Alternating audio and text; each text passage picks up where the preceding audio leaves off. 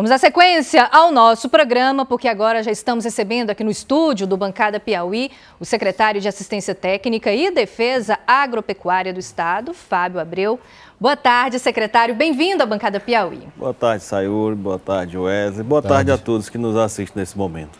Secretário, nesse período né, que antecede as eleições, tudo gira em torno da política. Mas antes da gente falar sobre política, a gente vai falar sobre as ações à frente ali da SADA, da Secretaria. Venho acompanhando muito de perto aquele programa de é, melhoramento genético. Está quase para começar, né? A inseminação desses animais. Aliás, a inscrição para a inseminação desses é. animais é o Piauí mais genética. Mais genética. Conta para a gente como é que tá. Bom, esse programa ele é fundamental, né? Nós estamos num processo muito importante do nosso estado, que são as instalações de grandes frigoríficos aqui no estado do Piauí. E eu não tenho dúvida de que isso vai oxigenar a produção, o consumo, a venda, a comercialização para, para esses estabelecimentos. E por isso a gente pretende melhorar o nosso rebanho para que esses animais a serem ofertados para esses grandes frigoríficos possam é, ser de qualidade. Então nós vamos é, ofertar a inseminação artificial para os bovinos, ela propriamente dita e totalmente de graça para o produtor, e a oferta dos reprodutores, no caso dos ovinos e caprinos, ou seja, é, as ovelhas e cabras serão é, ofertados reprodutores para essas famílias em uma espécie de rodízio. Com isso, a gente entende que vai, sem dúvida nenhuma, melhorar e dar uma autoestima aos nossos produtores com relação a um, uma produção de maior qualidade. Começa dia 25 de março, começa dia 25 de março as inscrições. Como o produtor rural deve fazer essa inscrição? Bom, nós temos um objetivo muito claro, né? Que os nossos produtores tenham um mínimo de é, esforço de trabalho para fazer qualquer inscrição, para ter contato conosco. E por isso nós vamos estabelecer um meio de contato através do nosso site e que ele possa fazer da sua própria residência a inscrição inicial para esse processo. A partir daí são dados algumas informações de procedimentos, protocolos para eles e posteriormente os contatos serão feitos e todo esse processo nós vamos acompanhar através dos nossos técnicos. Então nós temos a alternativa também deles, produtores, irem até os nossos postos no interior do estado e fazer a inscrição presencial. Mas nós podemos também fazer de forma virtual. Boa tarde, secretário. Bem-vindo à bancada Piauí. Uh, a pergunta que eu faço ao senhor é sobre a febre aftosa, né? Sim. Está aí realmente no cronograma de vacinação, praticamente no final. Então eu queria que o senhor pudesse dar hoje qual o panorama. O Piauí está bem ou está mal na febre aftosa, na vacinação? Está excelente na história. Nós estamos num momento histórico positivo para o estado do Piauí. Hoje mesmo nós fizemos, um, estamos fazendo é, um seminário com os nossos colaboradores da ADAP. Estamos mostrando, explicando, embora eles já saibam e eles sejam os principais agentes da realidade que o Piauí hoje se encontra. Hoje o Piauí está credenciado a partir do momento que nós iniciarmos a próxima etapa de vacinação que foi antecipada, era para ser em maio, dentro de um calendário normal, mas antecipando essa etapa de vacinação, nós vamos conseguir a, alcançar o status de transição para uma zona livre de vacinação. Às vezes as pessoas não entendem o que significa isso.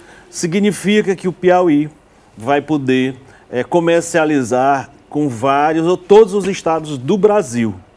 Mas o contrário, que era o grande receio nosso, é não ser é, permitida a antecipação dessa vacinação, nós não poderíamos fazer nenhuma comercialização com estados, por exemplo, como o Maranhão, que está saindo dessa classificação agora junto conosco. Então, o Ceará, por exemplo, nós vamos ter que fazer barreiras é, junto a esses estados de Ceará e Pernambuco para que não venham animais para o nosso estado porque lá não vai conseguir sair dessa zona é, de vacinação, ou seja, com vacinação. Então é a importância desse processo. Também ligado ao que a gente falou aqui da questão do mais genética aos grandes frigoríficos.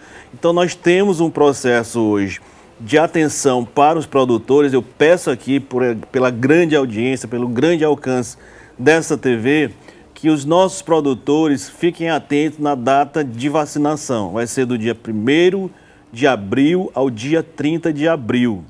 Eu sei que em algumas outras etapas houveram prorrogação de prazo, mas essa vacinação nós não poderemos estender um dia sequer o prazo de vacinação. Por quê?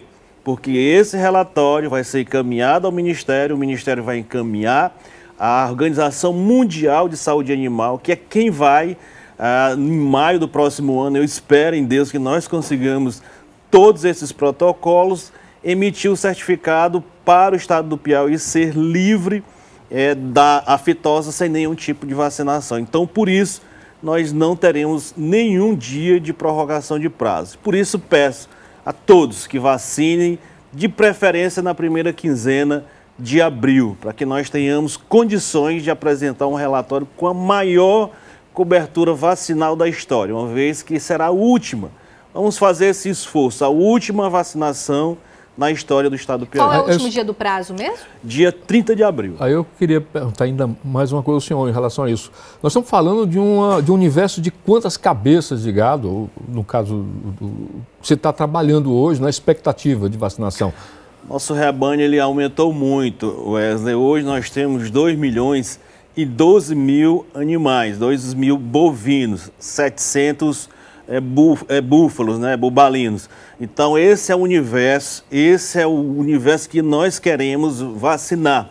Mantivemos contato com as distribuidoras das vacinas, queremos antecipar já nos pontos comerciais a disposição dessa vacina para que no primeiro dia da campanha, quem quiser vacinar já possa encontrar essas vacinas à disposição. Quantos por cento já, já se conseguiu na, na etapa passada e nós, o que é a expectativa para a próxima? Nós chegamos na última etapa 97%.